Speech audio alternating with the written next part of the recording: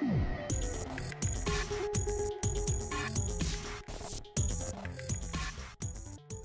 everyone, Steven here, and today I'm reviewing a monitor that caught my eye on Amazon as it is extremely close in terms of the specs to the Samsung G5 34-inch ultrawide monitor. This one though is from a brand named Koorui, from what I've seen online, that's how you pronounce it, but I haven't found any direct translations of this, so we're to go ahead and just stick with that for now. And although this is a brand that I've never personally heard of, it actually bests the G5 in a lot of ways. But before I get ahead of myself, let's go ahead and cover the specs. The Koorui 34E6UC is a 34-inch 1440p ultrawide VA panel monitor with a 165Hz refresh rate and a 1 millisecond motion picture response time. This being an ultra-wide monitor means that it will have a 21 by 9 aspect ratio, and one of the interesting features here will be the 1000R curve made popular by the Samsung Odyssey monitors. This covers 90% of the DCI P3 color gamut, 100% of the sRGB color gamut, and has a 3000 to 1 contrast ratio. Peak brightness is 400 nits, and this is VESA certified for HDR 400, although there aren't any local dimming zones here. For ports, this has one DP 1.4, two HDMI 2.0, and an audio jack, which there are no built-in speakers, so that audio jack will come in handy. For physical adjustments, this can raise and lower 110 millimeters, swivel to the left and right 15 degrees, and this has a tilt of 5 degrees forwards and 20 degrees back. This is VESA compatible with a 75mm by 75mm pattern if you want to mount this to a monitor arm. Inside of the box you will find the monitor, arm, power cable, DP cable, and user manual. Last is the price here, which is normally $499, but this is frequently on sale for $340. Next, let's look at the panel settings. The menu button is a single button on the right hand side of the monitor, which I personally prefer as they seem to work better over multiple buttons. Opening this up, you have the quick access menu first and then the main menu. Starting with the game tab, you have FreeSync Premium, dark field bright effect, which is essentially like a shadow boost. Next is the response time, which has normal, fast, and fastest. And actually, let's take a second here to break this down really quick as my main complaint with this monitor is going to be the ghosting that you find with it running the UFO test for each of these, you have ghosting no matter what, but the fastest is the best option in terms of reducing overall ghosting, but not by a big margin. Now I don't have a trail pursuit camera so I can't get the best footage here, but looking at some of the stills, you can see this is still quite blurry. Regardless of the settings with this, you're gonna get this ghosting and you're actually gonna get some inverse ghosting as well. This also has some black trailing going on, although it's not as pronounced as the ghosting.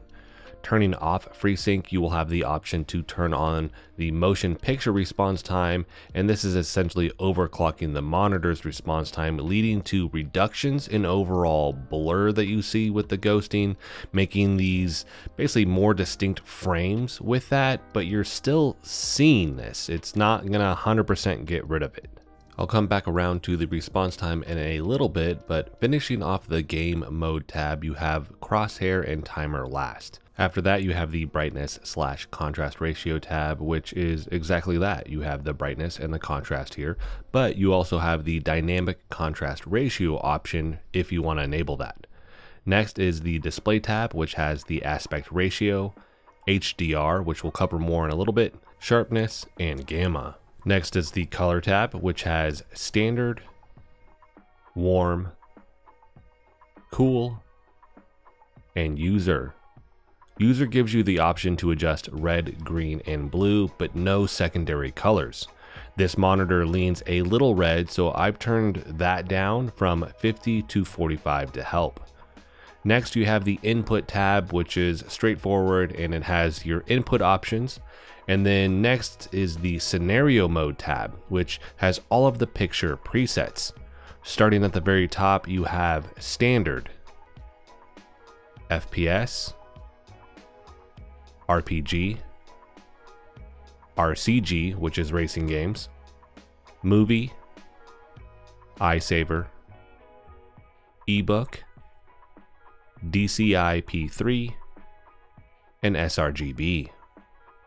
Shifting gears now, I want to cover the history of this brand or this company because I think that's something that's going to be important when I'm talking about the pros and cons. I make a lot of comparisons to the Samsung G5 because I think it may potentially be the exact same panel, just calibrated differently. Looking into the history here, though, this company, Koorui, was established May 4th, 2021 in China. It's a sub company of HKC, the Hong Kong Communications, I believe. And with that, this is just a, who we are, right? So they're talking about the applications and the products that they make in this particular image. And this is all on their site. I will have a link for that if you want to kind of dig around with it. But they're starting to make displays. So, a newer company, one of the things to keep in mind here, but also them being this sub company of HKC. From what I've read, HKC is one of the companies that does supply Samsung. LG is one of the big ones, but it does supply Samsung with some of their LCD panels or some of their just panels in general.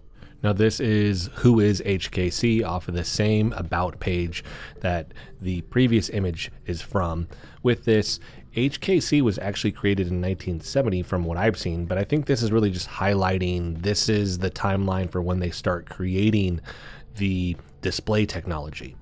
Going all the way down, we see finally in 2021, this is when they create the Koorui brand and then they get it on Amazon in 22 here. So again, a subset, a separate company, but it's still under the HKC global company. It's just one of those smaller companies within it. And this is going to inform, like I said, my pros and cons section because I do think that potentially, I don't know 100% for sure, this is what I found just through some digging, that the Samsung G5 ultra wide panel may have come from HKC originally, and now they've taken that, they have this display company where they're making their own monitors, and they've recalibrated this. Because a lot of it seems so similar but at the same time there are some differences. And because of those differences i may lean actually a little bit more towards this if i had to choose between the two but i'm going to break all of that down now. So that gets us into the pros and cons section. So let's go ahead and start with what i like with this monitor. And i think as an overall package i would say i do like it a little bit more than the samsung g5 and that's because with this the vibrancy of the panel is better. You can adjust the Samsung G5, but one of my complaints with that is it had a decent calibration. This one seems better. I do like a more vibrant, colorful monitor, and this does suit that more so than the G5. Now, I may be wrong on this, by the way. It may not be the same panel, just calibrated differently. It may be a completely new panel regardless, on paper, these things are so similar. I think a lot of people are going to ask, hey, should I get the Samsung G5 or should I get this? There are trade offs with both of these, and I think those are the things people need to consider, the ones I'm going to cover right now, before purchasing either. So again, the overall colors and vibrancy of this monitor are better than the Samsung G5. I don't know that that's going to be to everyone's liking, and it's not that the G5 is bad. I just think this is a little bit better. And with that, I mentioned it earlier, it does lean a little red, but I've turned that down with this and it does look better now that I've done that. The G5 leaned a little bit red also. So I remember having to make that adjustment. I don't have both of these, so I can't do a complete side to side comparison. It's really just based off what I remember in the footage that I have from my review. But the other big thing here, they both have that 1000 R curve. It looks really good on both of these. Just keep in mind with a 1000 R curve monitor, it's really just meant for one person. You're going to sit directly in the middle. It's not something that you can really just sit to the side. It, you can. It just it's really meant for dead center. That's where you're going to get the best picture quality. Because other than that, you're going to see just some morphine with this because it's such a sharp curve with that 1000 R curve. Both of the moldings of these panels look really sharp. I like the G5. I probably like this one a little bit more. It just has a smoother overall look to it. The big one where this monitor has a leg up over the G5 is all the adjustments. The G5 can only tilt forwards and backwards. This can do that, but it also has height adjustment and it can swivel. So that's another area where the Koorui monitor is besting the Samsung G5, and it may be a reason to go with that just depending on what your needs are. Keep in mind though, both are VESA compatible, meaning you can mount this on a monitor arm if you want to. Now, I mentioned the colors and the vibrancy, but how is performance? I think it's on par with the G5. Both of these are going to be slower VA panel monitors, so expect ghosting. In most games, I notice it a little and it's it's not going to beat my daily driver which is an OLED monitor and that has like zero visible ghosting. But for casual gamers, I don't think you're going to notice it potentially as much or maybe just don't care as much, but for enthusiasts or hardcore gamers, this isn't a monitor you're going to like. The ghosting here will be more visible to your eye even after adjusting the settings to reduce it. Now for most of the first person shooters I play, I notice it a little bit. There are some games where it is more pronounced than others. There are in-game settings you may need to adjust. Maybe that game has motion blur with it and you're going to need to turn that off. A lot of the slower pace games, I don't notice it nearly as much. Some are a little confusing though. Diablo 4 is a big one. I didn't get to play that on the Samsung G5 when I'm playing that game, the background has a level of motion blur to it that I'll even notice on my OLED monitor. So you take that motion blur that it has and now you add ghosting on top of it, it just makes it more pronounced. It actually makes my eyes extremely fatigued. I've never experienced this before with another monitor.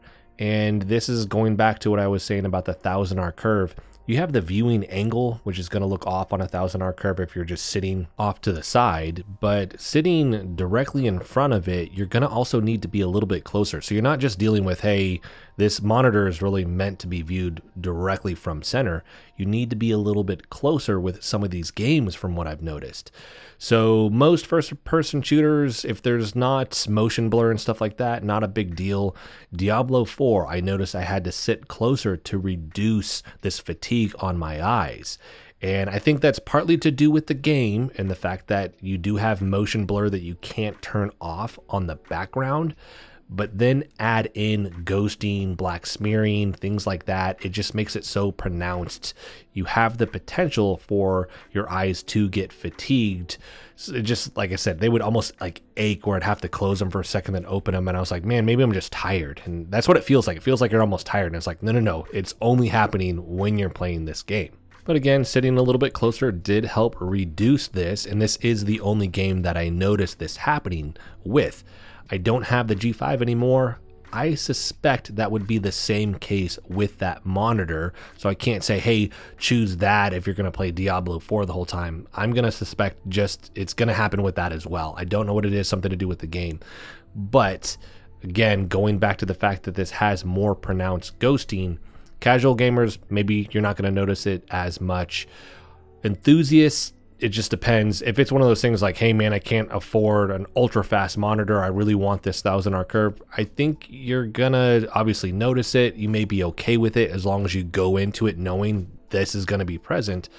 But for very hardcore gamers that need like super fast panels, this is not gonna be it. Which in regards to this issue with Diablo 4, I'm wondering if any other top down style game is going to potentially have this same issue with both of these monitors, whether that is the Koorui or the Samsung G5. It may be present with both. So if that is the type of game you primarily play, I would be mindful of that before going with either one of these monitors. Now, outside of this more apparent ghosting, again, I'm not noticing that really in first person shooters, which is a big one. It's there, but it's not incredibly pronounced. In other games, if you're playing like RPGs or adventure games or anything like that. It's there to some small degree, but not highly noticeable. The Dark Matter Ultra Wide that I reviewed still has the top spot for the worst ghosting that I've seen in a monitor. I sent that one back almost immediately after using it for the review because I was like, I can't. This is this is really bad. This one, I've kept this monitor. I do like this monitor. I like what it offers. And again, the vibrancy, the mechanical adjustment, these are things that you're not getting on the Samsung G5. The other big factor here, though, is going to be the price. I got this for $340 which is $5 cheaper than the G5 right now on sale, but these prices fluctuate, so do keep that in mind. The normal listing price for the Koorui is $499 and the G5 is $549, so $50 more. Now, for the listing price on these, personally, I wouldn't pay either of those. There are too many monitors out in the marketplace right now that are faster and have better specs within that five six hundred dollar price range right now. So don't go with it if it's that price. If it's the $340 i mean you're five dollars off on each it really is going to boil down to what features do you want. I think part of that also is going to be looking at the company. Samsung has been around for a long time so has hkc but Koorui has been around for only a handful of years. And even though it is a smaller company under the hood of the hkc main company does that pull you towards Samsung because you know you're dealing directly with them? They've been around for a long time, and if there's any issues with the product, you can easily send it to them to get fixed. So that may be a draw in that regards. I'm not too concerned with that personally, so I would go over this. I want the physical adjustments, I want the more vibrant panel, and again, I like the aesthetics. The only thing to cover last here is going to be the HDR, and I saved it for last because I don't think that should be a reason to get either. One, it's to me, it's fake HDR. So you're dealing with 400 nits, peak brightness. You're not dealing with a thousand. There are no local dimming zones with this. It's not an OLED, so you're dealing with a flat panel type here, meaning all the pixels are not individually illuminated. So it's not a draw. It's not a selling point. It's going to take a long time to calibrate. Yes, you can use it. It's just personally, I don't think it looks that great. It takes a long time to actually get it to look halfway decent. And at that point, you're going to want to leave HDR on if you've calibrated everything exactly where you want it, which again is going to take a long time to do. And some games it works great, some games it doesn't. It's just, it's a pain. So don't get this if you need really good HDR. It's there if you want it, but expect a lot of time being spent on calibrating it. Two last minute things I think are going to come up. Text quality on this it's decent. You can run the clear type on Windows 11 to clean it up a little bit, but to me, it's going to be what I would expect out of this resolution and this panel type. It's going to be the exact same on the G5. There is some pixelation, which is why you would want to run clear type or increase the font size as well. That does help. And then backlight bleed it does have it. This is an LCD panel, so you will see it if it's extremely dark. There are adjustments that you can make in the panel setting to make black levels better, and I do think that the black levels here are slightly better than the G5 overall, but both have that panel glow to it. So if you need something that needs extremely pure blacks, you're going to need to go with an OLED or something that has a ton of local dimming zones. For console gamers out there, if you're wondering should you get this monitor, I say this with all the ultra wides. Xbox and PlayStation do not support native 21 by 9 aspect ratio. It will stretch the image. Not everybody cares about that. To me, it looks a little bit weird. You can play an Xbox or a PlayStation with this. It looks fine, but again, you get a stretched out image. That's something that bothers me. But for anybody that has a PC and a console, they're like, hey, I would still want to use both with it. That is 100% an option, and you can do it. Just keep in mind you're stretching out that 16 by 9 aspect ratio image to fit the 21 by 9 on this, or you're going to get black bars on the side if you wanted to try and condense it down to 16 by 9. Just keep that in mind, but not a selling point, not something like, hey, I only play consoles. Don't go with an ultra wide, get something different. For any content creators out there that need top tier color calibration, you're not going to want to get this. Usually you're going with a different monitor anyways, but maybe you do hybrid stuff. You game and you do content creation. It depends on the level. If you need something that's incredibly color accurate, not the right monitor for you, but workflow stuff where you have more space on the monitor and you're sitting that good distance away from the thousand R curve, I think this is comfortable and it's good for editing video and things like that. But if you need something that is extremely color accurate, not the right monitor for you for the casual gamers out there and some enthusiasts that aren't worried so much about ghosting, I do think this is a solid option that again I would choose over the G5 because we have more physical adjustments, more vibrancy, solid black levels, and all of the upside of the G5, just keeping in mind that both of those have a good amount of ghosting with them. So that's going to wrap this video up. Let me know if you have any questions about this monitor in the comment section and I'll answer those for you there. I'll have a link for this in the description if you want to pick it up. Look for those sales too because they are quite frequent. If you liked the video, hit the like button for me as it helps the channel out. If you want to continue to follow along with all my content, hit the subscribe button for me. And as always, thanks so much for watching and I'll see you in the next video.